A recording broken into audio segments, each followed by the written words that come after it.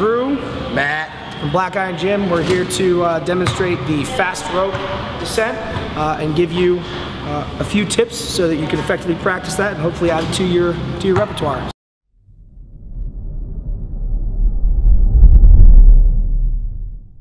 So I'll start by demoing one first.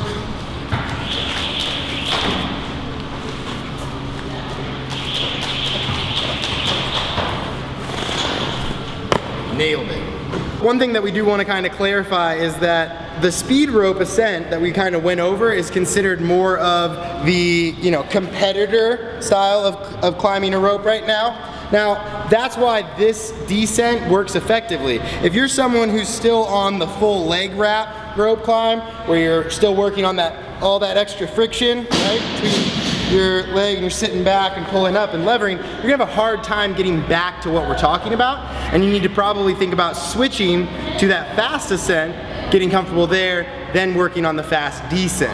That fast rope descent uh, can really uh, help and improve your cycle rate, uh, especially for shorter athletes like me, relative to Matt. I'm not really able to use my as much body length climb up the rope, uh, but what I can do is come down the rope um, consistently fast. Uh, moreover, with, with no really real eccentric. Oftentimes the most tiring part of, of rope climb is that slow negative arm over arm coming down. This fast rope descent helps us get rid of that uh, almost entirely.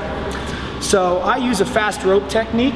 Matt, I do the same. Demo, so what we're, gonna, what we're gonna talk about actually is mostly like once he's up, it's not about how he's going up. I mean, if you have the full leg wrap, it's gonna be harder to do this. What you're gonna want is that fast rope technique where he's wrapping around. And then I want you to watch his feet. He's gonna go up just one pull. I'm gonna kind of steady him in the frame.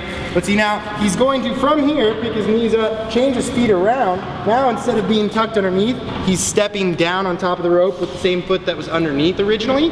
And that allows his weight to stay directly under him. His toes and the rope are aligned with his hips. He's gonna lean forward as he lets go with his hands to then allow for a faster descent, but still in control over his own toes. It's almost as if he's, with the rope in between, he's trying to balance like this. It's, uh, it's effectively like a, a, fireman's pole slider or something that you did um, you know, in, in grade or, or grammar school. Uh, you're feeling the rope uh, running loosely uh, between your hands, pinching more, pinching more so between the instep of your feet and your thighs. Uh, while you're getting used to it, it might be a good idea to have some type of three-quarter short, long shorts underneath. Um, also make sure you're wearing long socks as well. Uh, when I'm teaching people the, that fast uh, descent technique, I'll have them start by just going up one or two pulls halfway up the rope, whatever it may be, and get comfortable um, relaxing their grip, relaxing that instep uh, so they can feel that sensation of coming down quickly but still under control. So I'll, I'll go up for, for one pull. Mm. Matt, again, you can steady me. Yeah. Again, I use the fast rope technique. Yeah, he's two facing, pulls up the rope. He's facing the camera. You can watch his feet switch around. But tucks himself underneath. His heels are underneath his butt. Let's go.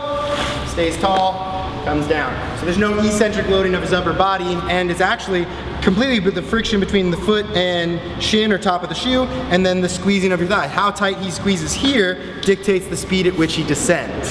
So give it a shot. Practice first by um, really starting first on the ground, getting comfortable, uh, switching that foot lock from a fast rope technique or a foot wrap to bringing your opposite foot around, pinching the rope between your top and bottom foot, get comfortable there from the floor.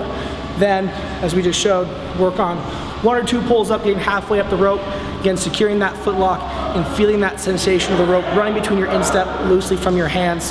Um, and then, as Matt just mentioned, applying that brake, pinching the instep together, thighs, and the hands. Uh, again, tag us, Black Iron Gym uh, NV. Let us know how these tips and drills work for you, and we'll see you next time.